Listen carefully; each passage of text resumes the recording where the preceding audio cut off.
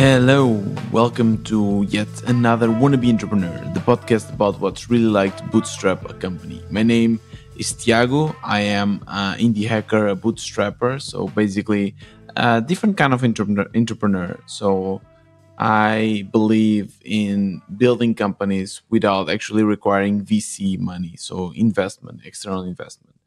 And uh, yeah, this is my story, my at least my entrepreneurial story. I've been doing a lot of episodes in the past, what like two and a half years or so. I don't even know. It's it's been a while. it's, it's been a while, and uh, I'm sorry for um, skipping a week on these weekly episodes. I normally try to always release every week. I know that uh, I don't have a specific day. Unfortunately, I once had a specific day. I know that it's better to have a specific day for you that are listening. It's better to like know uh, when uh, I'm going to release. But unfortunately, I don't know. I'm just a little bit chaotic sometimes, and I didn't find a way to focus and always release in the same day. Hopefully, in the future, I'll get that done. But in the meantime, here I am. So what's going on? First of all, as you know, my business is PodSqueeze. That's my main focus at the moment. And as I've been telling you for the past uh, two or three episodes, this year uh, we have been focusing on marketing. Yes, our goal is to learn everything we can about marketing and how to bring more users to our platform. And a lot has happened. A lot has happened since the last time we talked. In the meantime, I was traveling, so again, that's why I I was not able to release an episode, which I'm really sorry. But I, let me start with this. I believe, and this is something that I'm learning, that the skills that you need to scale a product from zero to 10k MRR, and MRR being monthly recurring revenue, are different skills to the ones required to scale something from 10k to 100k and probably also different from scaling from 100k to 1 million for instance. And the intervals can vary. I, I just using round numbers of course it, it, the, the limits the threshold can be in different ways. But yeah when you're starting out you it's just the, the beginning of being an entrepreneur. That's what i'm learning and and you spend a lot of time you use a lot of your time especially as a bootstrapper your time is spent to iterate fast to build products to release and try to see if there is some traction try to find the mythical product market fit. But that's only the beginning. And to be honest when you first start you feel that that's all. That's all there is to be an entrepreneur. Once you get that product market fit once you see your product growing yes we have you have achieved the success and and from now on you it's just you know collecting your money and already starting to think about where you can spend it. But unfortunately that's not true. That is not true at all. And there's one simple reason to it. The fact that the number of people that enter to your product every month at some point will match the number of people that are leaving. Yes it's called churn right? So when people leave your product they churn and there's a percentage. For let's say for instance and this is kind of similar to what we are having with the PodSqueeze we have a churn of 10% 10% every month of our active users are leaving the platform. So if for instance we have okay let's say 500 users 50 users always leave the platform. And if we are only able to bring 50 users each month then we reach a plateau this plateau will always happen. It can also be that instead of 10% churn, I have 5% churn. And if I have 5% churn, it, it, it means that instead of 50, so if I have 500 users, instead of 50 leaving, I have 25 leaving, right? So eventually, as the product is growing, if the churn stays the same, it will always hit a plateau, right? So the the big challenge the, the next big challenge is to delay the plateau the maximum we can. And what happened to us was that we hit this plateau in more or less november october these months we hit a plateau. We were not able to grow and we're also not decaying. It, we're just steady in this steady line. And the reason is exactly uh, because what i just explained to you which is the churn was more or less the same as the number of people we are able to bring. So our churn was around 10%, and I'm trying to to focus on finding ways to reduce that churn. is is really not easy to be completely honest with you because it's not clear. Uh, it would be easy if someone would just say, "Hey, I don't use your product because A, B, or C."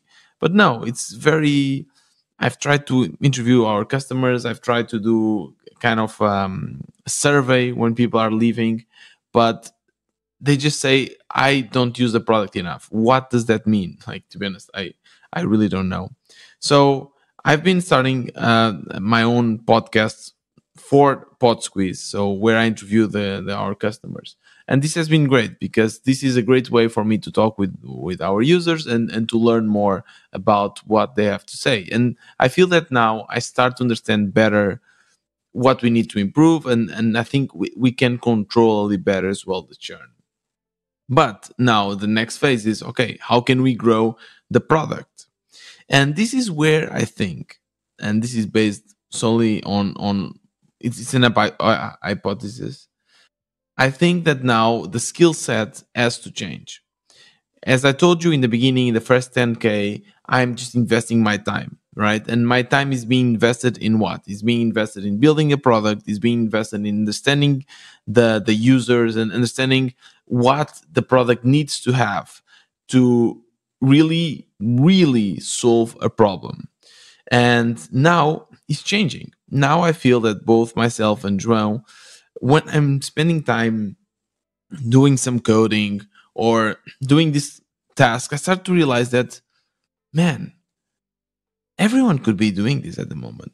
I my time is more valuable if I start doing other stuff. My time is more valuable if I am interviewing my my customers or if I am strategizing and thinking what should be the next steps or being in conferences or thinking on alter- alternative methods of, of monetization. So I decided to step up to go to the next phase of entrepreneurship, which is start delegating, finding people that can do these tasks so that I can reclaim some of my time back. And with that time, I can use to things that I do, do things that I believe, really believe are more valuable for uh, the development of PodSqueeze. So it's been an interesting first month uh, because we started hiring and we started I, we already had a freelancer developer and we decided to tell him to go not full time yet but to just spend more hours working uh, with us so we kind of found an agreement here and instead of paying by the hour we decided to pay by the month right? So that worked uh, or it's going to start actually in february and even this month uh, our developer already did a lot of work. It's almost full time so uh, my goal is that every time i have a new test that i want to do instead of me grabbing my laptop and start coding it i first go to our trello board and i put the task there and i try to document it as well as i can normally i do like a little video a little loom where i show what what we want to do and i delegate this task to the developer. Of course, I can also pick up this task if it's urgent or if I have nothing else to do. But mostly the goal is instead of me immediately diving in into you know solving a, a problem with my fingers and, and coding, I delegate. And it's the same for João. João now uh, instead of writing himself all the content for our blog, we hired someone to write it for us and we want to delegate to give him more um, more independence. And we also hired now recently FVA. Everything, by the way, is is freelance part time. So we're not hiring anyone full time yet. We are very cautious, and even though we have the money to do this, and by the way, every money that we are spending is money that we are making, so there's no like debt or anything. Still, we we want to be careful, and we want to collect as well as much money as we can. So we are not investing all the money back to the business because we know that the business can die at any time and we need to also collect some like a paycheck something that can pay the bills and, and hopefully to do some kind of cushion in case we need this kind of money right so that's kind of the strategy for now and um, we also are really heavily you know going into seo seo is our really great marketing technique that it's super passive right because it doesn't require us to be actively working on it And for that, I just want to uh, speak a little bit about the difference between SEO and, and social media, right? If you are, I, am a big Twitter fan and Twitter user, maybe use LinkedIn, Instagram, whatever. One thing that you notice is that in order to take the maximum out of a social media like Instagram or so, you need to be constantly active. The moment you start stop being active, you will immediately see a decrease in the number of visits that you know there are people that you are converting that are coming from your Instagram to your product. That's completely different with SEO. Fortunately, with SEO, SEO you can actually stop writing content and you'll still see the number of clicks going up. And this might last for years. Actually, I had a blog post that was kind of trendy uh, with the previous previous project of mine, and we didn't touch it. We didn't touch it for one two years, and if I it, was getting roughly 100 200 visits per day per day.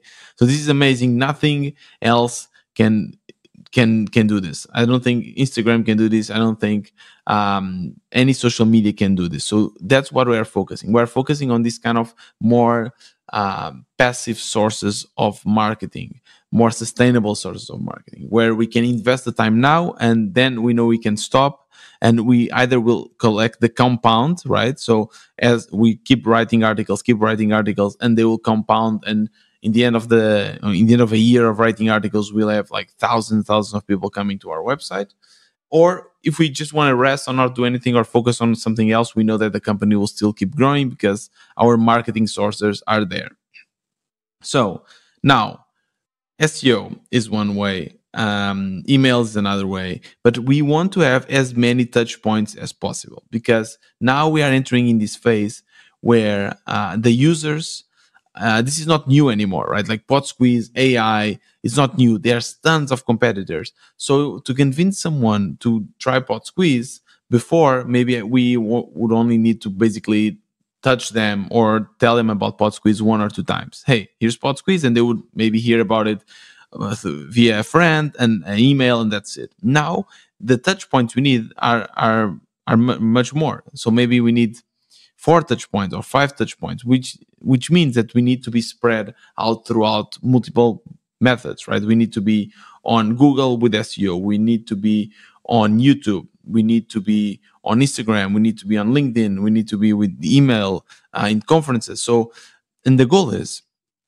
if a podcaster you know is kind of scrolling through their feed and then they see us on on instagram and then they hear hear a friend speaking about us and then an influencer speaking about us and then they get an email from us they'll be like okay i mean i need to check this everyone seems to be using PodSqueeze and the the degree of trust increases and by the way that's also something interesting that we've been noticing is that the conversion rate from google is much lower than the conversion r- rate from someone that actually came as um, a recommendation, right? So if a friend of yours, com- you know, recommends you PodSqueeze, you'll be more likely, you'll be much more likely to pay for it because you know that your user using it than if you just search on Google. Also, because when you search on Google, there's you see there's tons of options, and you'll be like, okay, let me, you know, play the field, see multiple options, and then I'll commit with my money. So yeah, we are trying to, to think now and, and to organize this team of people to focus and, and to keep the company growing and, and mostly doing the marketing. And for that, since we already have like SEO, since we already have the emails, we're trying to see what's going to be the next phase. And to be honest, I still don't know. I don't know if it will be uh, Instagram. I don't know if it will be YouTube. Most likely, I think it will be YouTube for one simple reason. YouTube is similar to kind of SEO. So you can put a lot of videos out and then even if you stop publishing publishing videos, yes, maybe you'll get a little bit less views, but those videos are still there and are still being searched on YouTube and are still being played. So that's why we want to focus on YouTube. And we started our own podcast, as I said, the lessons from a podcaster. It's a podcast where we interview our customers. So far, it's not working great. I mean, the interviews are great and I get to speak with them, and this is really good. But once we publish those on YouTube, on Instagram, it's not very good. Like we get very few views, like 10 views, 15 views. The only thing that kind of worked is when we kind of publish a short. We had some shorts that reached 2,000, 3,000 views Uh, but the problem is that they get these views and then they stop. They stop growing. So we're still trying to figure out. And one thing that I want to say, kind of to finish this episode, is that the more I am into the entrepreneurship, I, I understand that there's a lot of people that have been through the same. You know, a lot of these things eh, we like to believe that we are the first and we are figuring things out, and it's true. Everything is different. Like they, how to the, way we develop AI based products is definitely different, something new. No one ever done this, especially with GPT support and so on. So yeah, there are things that we are conquering, things that are new. But then there's also kind of other concepts that we have seen other people do. So what I'm trying to do now is to get this inspiration and and listen uh, podcasts, listen YouTube interviews. But instead of now focusing on the first 10k, I'm trying to focus on the next 10k. A few things that I've collected that I think might be interesting for you as well. Um, one interview that I've seen, I, I don't remember now, like the the name, but it was like how to go from zero to a million or something um, and of course there's also a lot of bullshit so you need to kind of you know filter the bullshit out but one thing that they this guy said was that to go from 10k to 100k you need to sell to the masses you need to sell not to the masses you need to sell to groups so instead of doing one-on-one sales instead of like trying to get and being happy for each new customer i need to be selling to 10 new customers and and you know 50 new customers and how can I do this? One is, for instance, doing workshops or partnerships. I do a partnership with us, let's say, a networking of podcasters that have like more than 50 podcasts in their network. And I say, we can do a workshop for them and we can teach them how they can repurpose their content. And of course, we'll kind of plug PodSqueeze. So instead of being selling this to one person, I'm selling this to 50 people. I can do partnerships with other websites, with other pods, uh, podcasting related websites. And I will announce and then speak about them and they'll speak about me. This could also be, right? But instead of being like going one to one to one, I'm doing one to 50 to twin to, you know, 2000, whatever. That, that, that's, that's the main goal. Um, so yeah, I think in the end, like we, we should not reinvent the wheel, right? There's, we, yeah, we are, we are so lucky because we are, in in a time of the world where we get access to the most you know clever people and all of them they have a podcast they have blog posts they have books they have whatever. Like if you like books then you have a book about let's say elon musk right? I'm not saying if i'm a fan of a guy or not but uh, come on he's smart right? And you can get all of his information either from books from interviews tweets whatever. And there's a lot of people. You can get access to the, the big ones you know the jeff bezos the mark zuckerbergs or the small a little bit smaller ones right? You can get access even a lot of indie hackers right? Tony Dinh, Pieter Levels, Arvid, uh, Danny Postma, a lot of them, they share their interviews, either on Indie Hackers, also in, in the Wannabe Entrepreneur podcast. There's a lot of interviews you can learn from. So just, I think it's good. Just keep this information flowing, take notes, learn from them because they know a lot. They really know a lot and they've tried. They have tried a lot of things. So why are you going to try it again and fail? I'm not saying that they know everything and whatever they say you can apply, you know, copy paste to your project. Probably not. But there's probably a lot of things that are failure and, and always fail for a lot of people. And you can just avoid these mistakes, right? Uh, for example, let's say I just released this, this episode and I have this podcast and I, I have my social media. I have my Twitter, my Instagram, whatever. I go there and say, hey, new episode is out, copy paste most likely, especially if you know you have no audience, no one will care. So why doing this? This is a mistake. You're just wasting your time copying pasting there. You think you're doing something, but you're doing nothing. You're just getting. Uh, it's actually tricky because you you think, okay, I don't need to do anything else. I, I'm doing Twitter, but you are not because you're just committing this huge mistake that a lot of people do. Right? A lot of people do these mistakes, but you're just doing, and you can, you know, instead of wasting, let's say, one, two, three months um, making this mistake, you can just learn from these people with one podcast and you don't do this mistake. So, again, one thing that is common from the first phase of entrepreneurship or from zero to 10 and another uh, and the second phase 10 to 100 is that time is our biggest asset. And we need to be really conscious on how we use our time. That's the most important thing. That's really the most important thing. So if you need to invest some money to hire someone to delegate some tasks, if you need to automate some processes, if you need to say no to certain things, right? No to projects, no to some you know tentatives or or doing mistakes these mistakes that can be easily avoidable then say no to those things. Uh, because i think in, in the long term this will make us better entrepreneurs. As you know that's my goal. That's my goal with this podcast. That's my goal with um in in life my professional life is to become the best entrepreneur i can be. I want to make millions. I know it sounds kind of crazy but yeah that's that's what i want to do. I want to make you know a couple millions and and raise my companies and and and prove others and myself that it's possible to bootstrap a company and and make tons of money. Now will i be able to do that?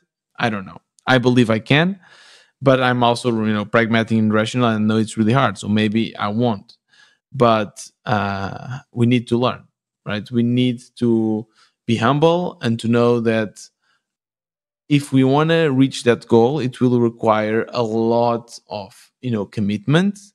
Uh, it's our calling so we need to invest a lot of our time doing this learning and, and surrounding ourselves with people that can help us. And hopefully one day we'll be better entrepreneurs and, and learn and and and reach our whatever financial goals and uh, you know life goals in general. So yeah that's basically it. That's all i have for you today in this episode of the wannabe entrepreneur. Uh, once again i appreciate you for listening to this podcast. If you have any questions or cool projects that you want to share with me shoot me a message on twitter. My handle is wbtiago and make sure to share this uh, podcast and these episodes with your friends. If you like what you're hearing yeah sharing is caring. And uh, last but not least make sure to just give it a review. If you are listening to this on spotify or apple uh, giving it a review there's an option and you can give five star review and that will take this podcast to new years. Thank you so much. This was another wannabe entrepreneur. See you next time